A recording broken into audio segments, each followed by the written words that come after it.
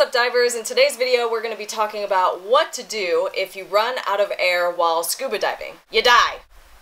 I'm just messing with you. Seriously, we have some really important skills to talk about, so let's get to it.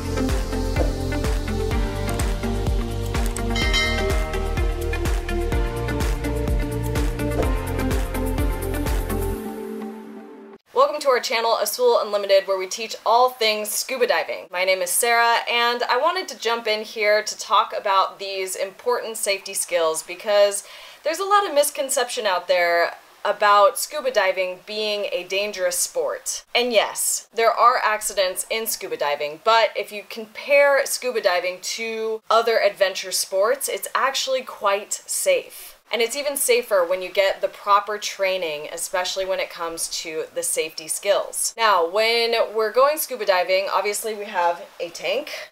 And of course, this tank is the limiting factor for the time that you can spend underwater because there's only a certain amount of air. A standard scuba cylinder is 12 liters. It gets filled to 200 bar or 3000 psi, and we have a gauge that we use to let us know how much air is left in the tank. During your open water course, you'll be taught how to check and monitor your air. That's the very first introduction to safety that you get in your open water course. By just being aware of how much air is left in your tank, you're going to avoid running out of air in the first place, and that's really how you want to be as a diver. You want to be conscious of how much air is left in your tank. Therefore, our very first skill is the most ideal of all the skills that we'll talk about in this video, and that is a normal ascent when you run low on air, okay? This can be the sign for running low on air. That's also the sign for 50. Sometimes people just do 5, some people do this, but 50 bar is low on air. You can see that low on air in a lot of SPGs uh, with the red portion of the needle of the gauge. When you are low on air, that means that you should be able to come up, do your safety stop, that's 5 meters for 3 minutes, okay? And then come to the surface safely using using your own air tank,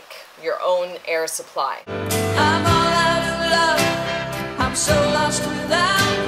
This one is obviously the most ideal because you are not relying on anyone else, right? You're paying attention to your air as you dive, and when you get low, you come up, do your safety stop, and get to the surface. Now, sometimes it can happen that you maybe get distracted or the environment is a little bit challenging and you are not checking your air so often and maybe you do run out of air. The safest way to deal with that scenario is by sharing air with your buddy. Whenever we're diving, we should always be close to a buddy so if we run out of air, then we just go to our buddy and we share air with them. Whenever this does happen, because it does, you know, the it's this is a human sport, so you know, we're bound to make mistakes on occasion, right? But we can avoid a more serious problem if we just keep with that general rule of staying close with your buddy. You don't have to be right on top of each other, but being close enough that you know that you can share air if something were to happen.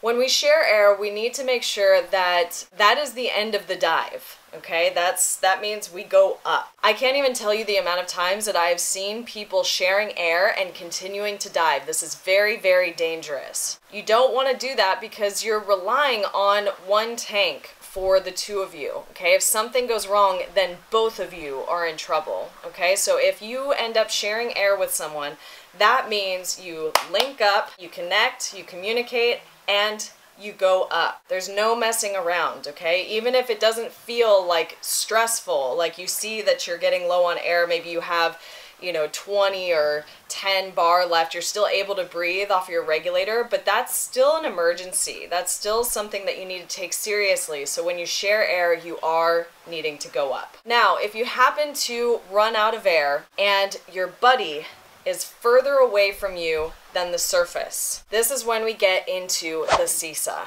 controlled emergency swimming ascent. Hopefully, if this were to happen to you, the idea is that you would be towards the end of the dive, hence running out of air, and you would be shallow. So if this does happen, you want to maintain all of the weight that you have, your weight belt, your integrated weights, everything stays in place. Your regulator stays in your mouth. You deflate your BCD and you exhale from your mouth and you kick all the way up to the surface. The reason why I say that you keep all of the equipment in place is because this is a controlled ascent. Okay, that means that we can regulate the speed at which we go up. This is much, much, much safer than our next option, which we'll talk about now. If you're new here, make sure to hit the subscribe button and the little bell so that you don't miss any of our future videos. This option is really a wow, there a lot of things went wrong and this is a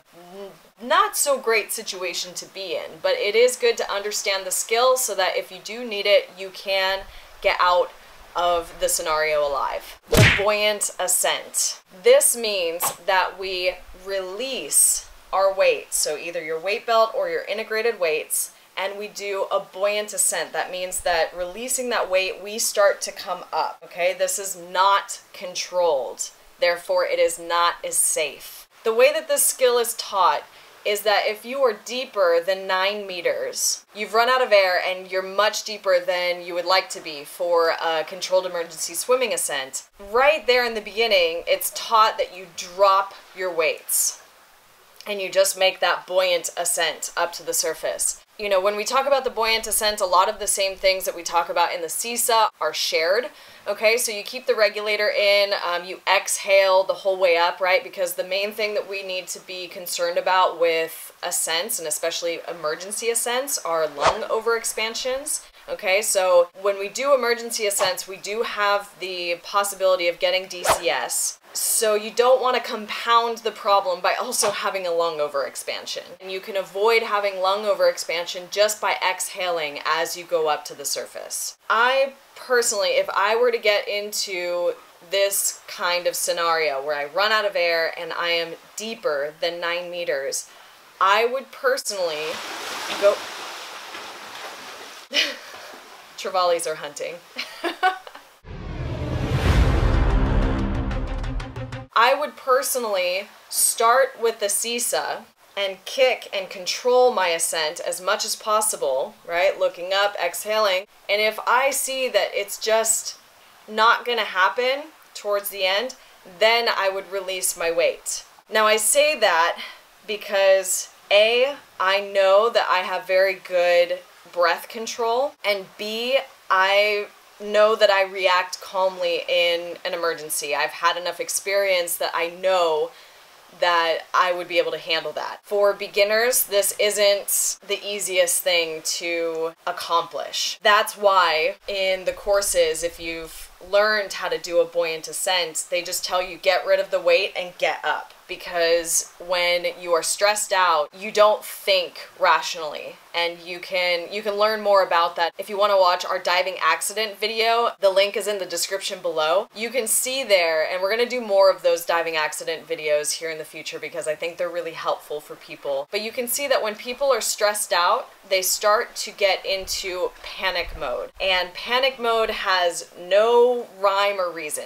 You don't understand the world anymore and your your main concern is that you get somewhere where you can breathe and you can calm down again. That's the reason why the rescue course is such useful training because you do get to practice what it is like to deal with someone in panic. You really don't get the full experience until you are confronted with someone who is actually in panic, but it gives you the knowledge base so that you can react appropriately. So that's the buoyant ascent. Finally, one skill that isn't really taught much anymore, you really only see it in the Dive Master course, is a buddy breathing ascent. And the reason why it's not taught is because it's quite complex it's difficult to accomplish especially with people who don't have experience with it. It's not it's not done very often but i wanted to mention it because it is an option. A buddy breathing ascent is where you ascend with someone and you are sharing one regulator. So you usually take two breaths one person takes two breaths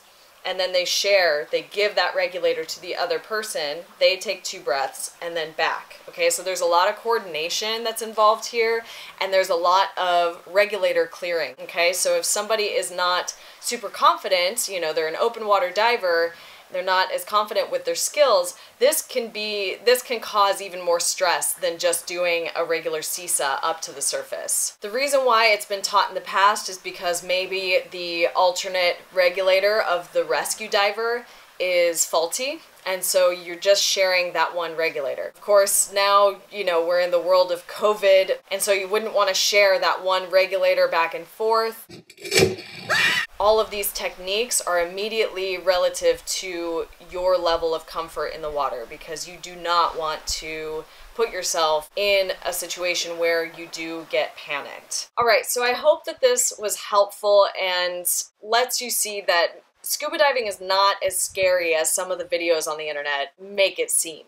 As long as you get proper training with people and you get experience, it's really quite a safe sport. That being said, there is a lot of bad training out there. So, you know, you've probably heard of accidents and things happening because the divers don't know any better. So I hope that if you're a diver, you will take the information in this video, maybe go out and practice some of these skills just to make sure that they're, you know, well infused in your training and in your knowledge base.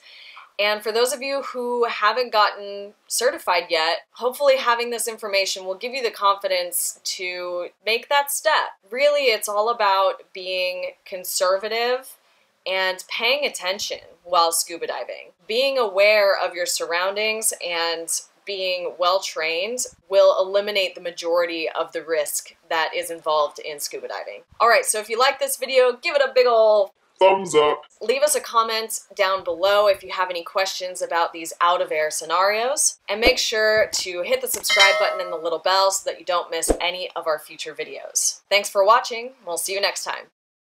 Hey friends. Did you hit that subscribe button? It's just down there, so, you know, hit it so that you don't miss our videos. And um, make sure you check out our other videos, you know, just over there. There's a couple of really cool ones there. So just click, click, go into the next one. Ah, there we go. Okay.